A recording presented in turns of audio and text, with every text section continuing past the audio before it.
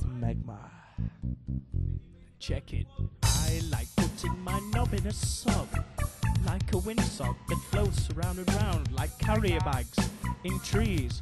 I go on Shybrook Market to please the skagads. They like to whack up in a corner, injecting kettle descaler. Tefal kettles are marvellous. I'm partial to bits of tuna and mayo sandwich. Filler.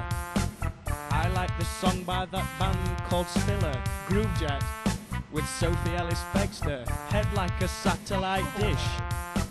Chris has got fat balls. I want to sniff his smalls. Oh, yes, he's great. I want to emancipate.